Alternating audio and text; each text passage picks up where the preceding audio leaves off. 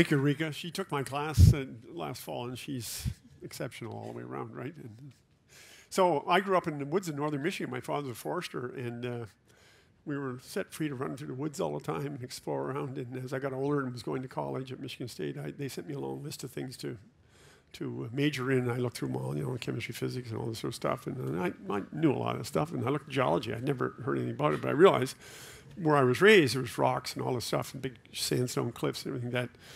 Earth's a rock, and I thought maybe I should learn about this thing we're on. Maybe we have to take care of it somehow. And so, I started on a long pilgrimage to, uh, to, figure out what we're doing here. And I know we all trying to figure out what we're doing here, and we'll never really understand that, fortunately. But it's kind of interesting to know what the Earth is. So you'll you'll understand this is going on. I'm going to I'm to tell you about a few simple things today, and I'm going to give you some homework at the end. I think you'll enjoy the homework too at the end.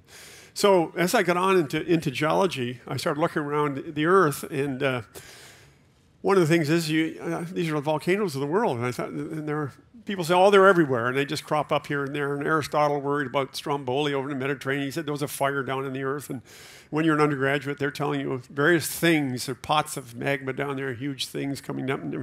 But as time went on, you, you look at it and you say, well, they're not just everywhere. They're, they're places where they're really rather systematic for around the Pacific, you know, the Mediterranean, there are areas here and there, and there's Hawaii in the middle and stuff like this. And the question came up, why are they there? What, what's going on? I was I was also impressed deeply by the fact that evidently the Earth is alive. This stuff is coming out. It comes out at about 1200 degrees centigrade, and it's telling us that deep in the Earth, without going too far, there are, there are things happening. And, uh, and then the whole science of plate tectonics, and we've discovered that the continents were drifting around. This happened when I was an undergraduate and things. And the thing that really impressed me on this is that the outline of the continents and when I was in first grade, I said to Mrs. Lehman, my first grade teacher, it looks like you could connect up South America and Africa and put these back together. And she said, that's foolish. She said, Screws your hand. She took a ruler and whacked me on the hand a few times. Don't think things like that, you know, things like that. So I thought, okay. So, and uh, so as time went on, I realized that's exactly what was going on. That uh, after we knew we could piece these all back together in the, the, with the oceanic ridges and things, and then suddenly, as this happened, people realized that there was a whole process going on. The Earth is an engine. There was there's things, the Earth's core is hooked up, the magnetic field comes out of the core, there's heat being generated, the mantle down below here stirring, and this stuff comes up and moves over. And, and of course, since everything's moving, the, uh, the Earth can't be just getting larger and larger as a hollow sphere, so stuff has to go back down inside the Earth. And we call these plates, these tectonic plates, actually thicken as they cool thermally, as they get away from them, they go back down, and they go down often around continents. Continents are light material, and the continents are actually made from melting of stuff down here in the Earth and it's a distillation machine. Melting takes place over here, partial melting, a little bit of material comes up here, and it goes down here and gets melted again, and comes up. So it's like a refinery. So you get primitive material that came originally with the Earth a long, you know, uh, four and a half billion years ago, and then you get more melting, and eventually you get uh, continental material, and this is the stuff that floats around and doesn't, never goes back down because it's low density. It's like a, like a boat or a raft. And we show these pictures here, and you can see this picture out of a textbook, and they got magma just, where's it coming from? How does that actually work? And these, all this sort of stuff. I got really interested in, in the details of this. And you look at around, and you, you heard of the, the Pacific Ring of Fire.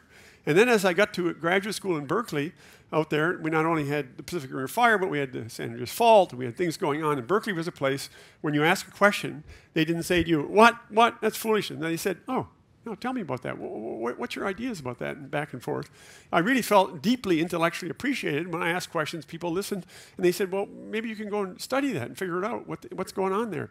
And there were there were people doing things on, on uh, around various parts of the world trying to figure things out. It was a revolutionary time. And one of the things that was really a mystery is when you look to these areas, they call them island arcs, and like South America, you know, the Aleutian Islands, Kamchatka, even our own Cascades they always were fighting over where the magma comes from. Does it come from melting of the bottom of the continent? Is it a plate going down? What is going on? When I started looking at the Aleutians, I realized here's a volcanic arc that stretches out from a continent. You can see the continental shelf here. It goes across the continent out into an oceanic regime. So I thought, here, we can go out here and we look at the magma. Does it vary? If it doesn't vary, that means it's coming from somewhere deeper in there.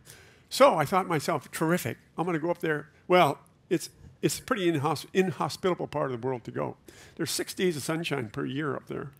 And uh, 70, 80, 90 mile an hour winds, they're not called hurricanes. They're just called storms. And the Aleuts who live up there call them williwaws. They're just a big wind, you know. So, and, and it, you know, and it rains a lot. And, and out to this part, there's there's large Kodiak bears and, uh, and, and, and packs of wolves and all kinds of things. And being raised in the woods, I thought, well, that just adds a little excitement to it. You know? So, so I went up there, and I thought, first of all, after I got up on the volcanoes in, in, in middle of June, of June, I thought, where are the rocks? They're under the snow.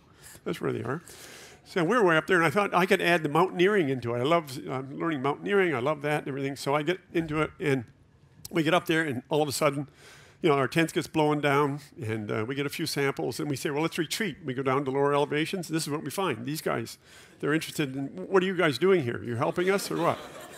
so we avoid them, and I go back home and I look at I look at now and I say to myself, well, what's going on here? And the first thing I realized, if I plotted up all the volumes of magma coming out, is that you go out the Aleutians and the plate is moving like this, and as soon as the plate motion goes alongside of the Aleutians, the volcanism goes to zero. There are other little islands here, but there's no volcanism on, until it gets to Kamchatka and it starts up again. I thought, oh, that's very interesting. No plate going down, no volcanism. You have to have stuff going down.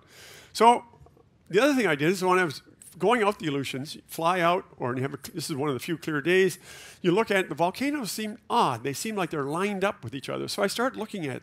There's a guy up at, Dar at Dartmouth one time, Professor Sto Stoiber, who is who's dead now, but he said that you know he could see alignments in volcanoes and the cascades and things. So this is the eastern Aleutians, and this is the western Aleutians. I just put them so you can put them on the same sheet here. And if you actually just take the active cones, the top of the cones of the active ones, you can actually line them all up. There's some breaks and things in here, but there's for hundreds of kilometers, they're absolutely on these, these lines. Some of them only have two points, but many of them. And then there are breaks, and we'll tell you about these breaks in a minute. These are breaks, and we have names on them and things like that, and we'll see.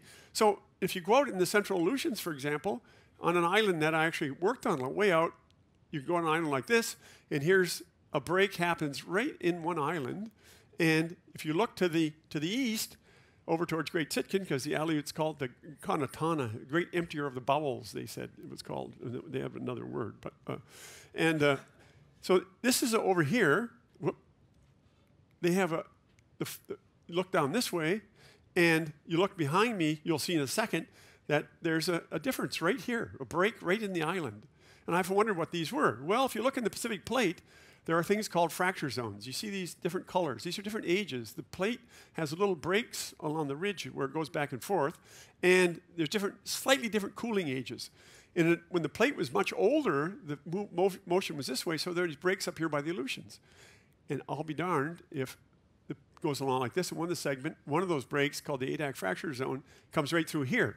That's not in the plate we're standing on. We're standing on the North American plate. This break is in the Pacific plate, which is 150 kilometers below this point right here. But it's affecting the volcanoes. If you turn around and look to the west towards Kamchatka, you look out there and you see this. They're perfectly lined up. In fact, you can't even see the other volcano 100 kilometers away because it's right behind the point to this. And I'm on right on the summit of this one. Exactly lined up. And if you look around the world, all the island arcs of the world, we pointed this out, all the arcs of the world have it. Here's, here's Indonesia, and you can go on. So that's one thing. These things are in touch with the plate going down underneath. And when the plate going down has a slightly different attitude, though all the volcanoes are affected by it. So we went back and looked at more things. And when you're stuck in tents up there, and you get your average, your, your one day in the field season when you can see things, you start noticing other things. And that is that the weather's just as bad. We have to live in caves sometimes. It rips our tent apart, that, and we have to stay inside of here for weeks at a time. We look like desperados, something like you'd see in northern Afghanistan now or something. And uh, good food, though. We have good food. That's, you know, and, uh, and we have guys looking after us. These guys with packs of 20, 18, 20 wolves come down, just the nicest, calmest things in the world, never harm us in a second. This is the alpha male out of a pack of 22 wolves would come down and just look us over, roll around, yelp. He wanted me to yelp back, but I didn't really know how to talk to him. The other thing I noticed going out the arc is the volcanoes weren't all over. They were actually not only these lines, but they were only spaced every so often, active ones. You'd be in a ship or an airplane every about 50 kilometers, they were spaced. It's a little bit messier when you have an old arc like this that has had repeated volcanism. But if you look at down the South Sandwich Islands, for example, which is another island arc down off between South America and, Antarctica, you see these, it's a young island arc just built up, but you can see these volcanoes they're spaced. There's a spacing in them. They're just spaced apart in some sort of way. And then there's occasionally one behind. This guy is 3 million years old, this arc. This is only in the last 1 million years or so. And so if you look at what causes that, well, you can see a lot of things like this, and I'll tell you the truth of it. The idea came to me for what was causing this after a night of prolonged drinking for New Year's Eve with a bunch of other scientists, and I got up in the morning with an excruciating hangover, laying on this couch, just thinking about, I've been worried about this and thinking about this, and it suddenly came into my head. Know, instantaneous illumination. And what, what happens in this kind of circumstance is a fluid mechanical instability called a Rayleigh-Taylor instability, where one low-density fluid is pushed into another. This is when you throw something into a fluid, for example. Here's a crater on Mars, for example, the same kind of thing. And so I started doing experiments over here in Ames Hall in a tube of fluid. And what happens is here you start it out, and you open up the fluid, and these guys are coming up, and this is all open trough and you can actually predict the spacing of these. And not only that, but you can actually predict the size of the, the, the, the diapir, they call these, the, the body of magma that's coming up off these. Fantastic. And so we start applying this to the Earth because then you can find out something about the source characteristics. So what happens is the plate goes down, it starts melting, you get a ribbon of fluid, the fluid goes unstable, produces these volcanoes, and it starts migrating down as the as it, more and more melting takes place, and suddenly then it's thinner down here. You get occasionally you get a small volcano growing up behind it. There are two in the Aleutians. And now these are spaced at a little different amounts. So when you do the experiment dipping down, you get this strong, it's called the volcanic front, the Japanese call it, and then you get these other guys down here, and it's modified by the cosine. So you get 70 kilometers along the arc and only 50 kilometers down the arc. Now, once you have all these equations, you can actually invert it for finding what the source is. It turns out the source is only about 100 meters thick, and it's long and it's very viscous. And I won't, it won't bore you with all the details, but you can actually find out what the source is. You're talking with it at a distance, and you can find out what it's doing down. It's a ribbon of magma, a very, very viscous, high, high viscosity material that goes up like thunderheads. And it's all organized, and it's organized in this kind of pattern. Now, on top of this, we also have the fact is, is that uh, we get to go throughout the world and spend time looking at areas that you would never ever get into. So I tell my students, and I've told Rika and other people, you want to fashion a, a, a, an occupation for yourself where you can have your thrills of life, exploring, investigating things, mix it in with an occupation that you can also get paid to do. So that's what when you do work on volcanoes, you get to go all over the world. There are volcanoes everywhere. So if you put you know twenty thousand dollars in your NSF budget for travel, no one no one worries about that. But if a mathematician puts in twenty thousand dollars for travel, they say, what, "What's that all about?" You know, can't you? And and and uh, so, and this takes us to places like this. So this is a little village, a thousand kilometers out in the Aleutians Islands, and what do you do? You you get to go out and stay in this little village, and these people in the Aleutian, Aleutians came across, course, in across the Bering Straits a long time ago, and they moved down through, they invented boats and things, and they got out here, and they went all the way over by Kamchatka. And when we came, this village has no landing strip, nothing. You had to fly out to a, a place about 100 miles away, take a Navy tug over here, and we'd stay with us. And these people, of course, they'd been out here, you know, five and 6,000 years.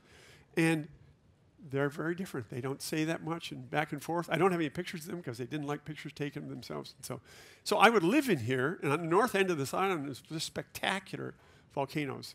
And I would work on here, and I worked several several summers here, and they only had, you know, here's the Russian Orthodox Church because the Russians came through, the Bering came through here in the in the 1700s, and uh, they're they're all mixed in, so they have a Russian religion, and the Russian Orthodox priests would come every you know 10 years or so. So the house was not used, so I'd stay in the house. And they, I'd run out of food and things like this, and I'd see a reindeer roast just would appear. They knew. They knew everything going on without a lot of talking, and they take me in their boat to various places, and we learned various things. And I'd look out, then here's the volcanoes up to the north. In the evenings, you'd sit around, walk out, an occasional slight clearing of the, of the atmosphere. Just, you'd see these magnificent volcanoes, and I knew they were up there, and I went up there and mapped, and I worked up here 15 or 18 years. And the best thing also is that you have a little, a little something in the evening. We didn't have glasses, that's nice, of course. And I realized that if you, these are called wine tears, if you swirl this around in nice candlelight, projected, you see these guys coming down like this, and this is the other part of the lecture, is that these instabilities can be used to gauge the viscosity and the alcohol content of, of the wines. And people have been doing this for long periods of time. And it adds to it about this whole thing. It's just the same thing upside down. And uh, so here it is looking down from, abo- from above, this same instability. So I'm going to leave you right here with homework. And it involves alcohol, which is really fun. So you go home tonight, you take a glass like this, and you swirl it around, or even slosh it just back and forth gently, and just wait, look at it. You can take a light and project it from one side onto a, onto a piece of paper, and there you will see these things forming. What I want to leave you with is also something that uh, you should think about, and that is the stuff that I'm telling you about here is stuff that's been laying out there in front of us for millions of years. Human beings were always worried about or thinking about what these things are. You know, the stuff that Charles Darwin did, the stuff that uh, a lot of stuff that Newton did, the stuff that Einstein did, it's right in front of us all the time. The plate tectonics that you're looking at, the configuration of the continents, it's sitting right there in front of us all the time, waiting for us to understand it and discover it and appreciate what it is for what it is. Now, having grown up as a little boy in northern Michigan, I was a cabin boy in these old, big Lake Superior fishing boats, commercial fishing tugs, with old guys. I'd spend my summers at 10 years old. and I was in the middle of the lake. We'd be out 40 miles in Lake Superior. It'd be just, they'd close it all up at the end of the day, and they'd just yell up to me, Take her home. I was 10 years old. You know, it was fog and rain and stuff. They trusted me because I watched these guys. I knew what to do. I knew how to understand a compass and things like this. Yeah, we, we show up at home at night. So the key is when you look out and look at stuff, there's all kinds of stuff out there that's laying there for us to discover.